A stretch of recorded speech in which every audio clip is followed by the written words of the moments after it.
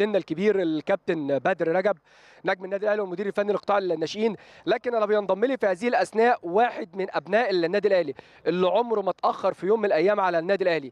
تكون موجود في الجهاز الفني للفريق الأول نعم وحاضر تكون موجود في قطاع الناشئين موجود ونعم وحاضر واحد من الأبناء المخلصين وليه بصمة كبيرة جدا كابتننا الكبير الكابتن أحمد ناجي المشرف العام على حراس المرمى بقطاع الناشئين بالنادي الأهلي. كابتن أحمد ناجي واحد من ولاد النادي الأهلي. ما يقدرش يتأخر على نداء النادي الأهلي. أنا موجود مع النادي الأهلي في أي وقت وفي أي مكان. أنا بتشرف إن أنا موجود يعني ف منها بدأنا وإليها نعود يعني. لا الحمد لله يعني أنا في منتهى السعادة بال بالتكليف بالمنصب ده يعني لأنه منصب مهم ومنصب في كمية شغل كبيرة جدا جدا وإحنا إن شاء الله بإذن الله بنأمل إن إحنا يعني يكون الفترة اللي إحنا هنشتغل فيها تكون فيها إنتاج كويس ويكون فيها عمل جاد يعني.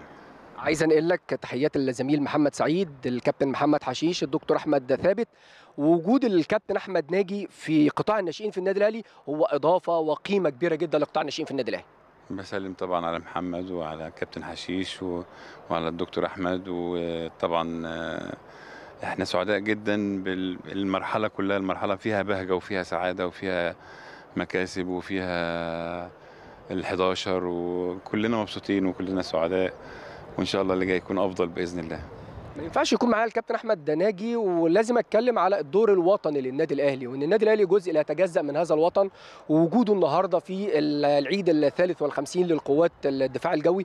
أعتقد ده دور مهم جدا للنادي الأهلي يا كابتن أحمد. النادي الأهلي طبعا نادي الوطنية وحلق يا نصر الحرية و... لا طبعا النادي الأهلي طول عمره من 1907 ليومنا هذا هو نادي الشعب.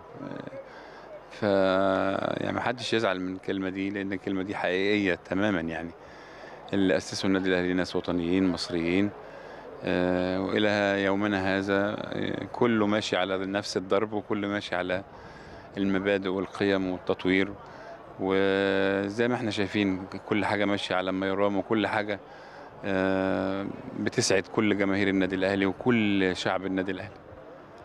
كابتن حشيش بينقل لك تحياته وبيقول لك إحنا مستنيين منك الكتير أنت أضافة كبيرة لقطاع الناشئين في النادي الأهلي وعايز اطمن من خلالك على مستقبل حراسة المرمى في النادي الأهلي يا كابتن أحمد. وأنت معانا الحارس الأمين على يعني شباك النادي الأهلي.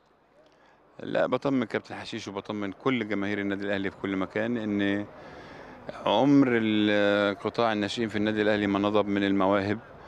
وأنا الفترة اللي فاتت شفت أه مواهب كتير جدا وأقربهم النهارده يعني كان عندنا اختبارات لسن صغير جدا خمس سنين وست سنين وسبع سنين. يعني لقينا حراس عفاريت وجد يعني حاجة جميلة حاجة تفرح. وطبعا حراس القطاع يعني النهارده شفنا ثلاثة حاجة أجسام وحاجة مهارة و... لا اللي جاي هيكون كويس إن شاء الله. أخيرا يا كابتن أحمد شفت ال 11 إزاي البطولة ال 11 وأنت عشت كتير جدا من البطولات مع النادي الأهلي. آه هي عاملة لنا سطلانة يعني أنت عارف يعني.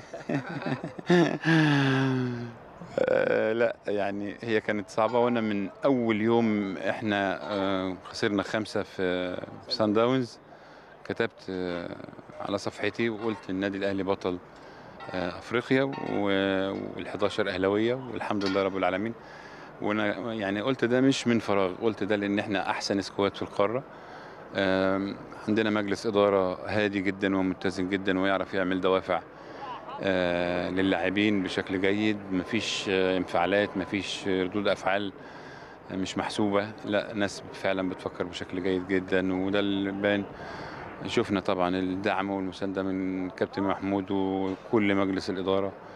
أه وفروا مناخ أه يعني أه يخلي أي حد إنه يبذل أقصى جهده وده اللي حصل. بنشكر طبعا اللعيبة وجهازهم الفني وقبلهم مجلس الإدارة وجماهيرنا العظيمة المتأكدة إن إن الفرقة حت مش هتخذلهم وهي ما خذلتهمش وألف ألف مبروك واللي جاي يكون أفضل إن شاء الله. أخيرا يا كابتن أحمد شفت ثقة الكابتن محمود الخطيب ومجلس إدارة النادي الأهلي في عودة الكابتن أحمد ناجي لقطاع الناشئين في النادي الأهلي ووجوده كواحد من أبناء النادي الأهلي؟ الكابتن آه، يعني من فترة مش قليلة يعني يمكن شهرين ثلاثة يعني قعد معايا وقال لي أنا عايزك تبقى موجود في النادي. طبعا آه، سمعا وطاعة. وكان آه، يعني آه، يعني الكلام بتاعه يعني آه، خلاني يعني في منتهى السعادة لأنه أنا بعتبر إن المحطة دي من أهم المحطات. يعني يمكن في تدريب منتخبات وتدريب بره مصر وتدريب في مصر وطبعا في 13 سنة مع النادي الأهلي فيهم إنجازات كبيرة جدا. لكن أنا بعتبر إن المحطة دي هتكون من أهم التحديات اللي أنا بعيشها وإن شاء الله آه، بإذن الله يعني الناس تشوف فيها حاجات حلوة. أشكرك يا كابتن أحمد ربنا يديك الصحة ونتمنى لك التوفيق ومستنيين منك كتير يا كابتن أحمد. أشكرك أشكرك شكرا جزيلا. محمد ده كان لقائنا طبعا مع الكابتن أحمد ناجي واحد من رموز والقيمة والقامة اللي طبعا بعودته لقطاع الناشئين النادي الأهلي ووجوده في قطاع الناشئين بالنادي الأهلي.